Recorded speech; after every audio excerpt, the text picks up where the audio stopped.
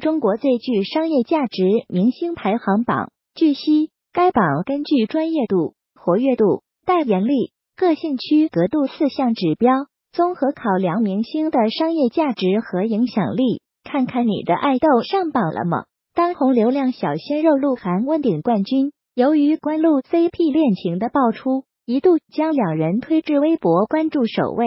此次榜单关晓彤也跻身三十一位。排在刘诗诗之前，赵丽颖一举成为最具商业价值的女明星，超越杨幂和范冰冰，排名第二。胡歌从去年的冠军变为今年的第六名。TFBOYS 成员王源在三小只中位居第一，位列榜单的十四名。易烊千玺是十七名，王俊凯二十一名。今年因《战狼二》爆火的吴京商业价值。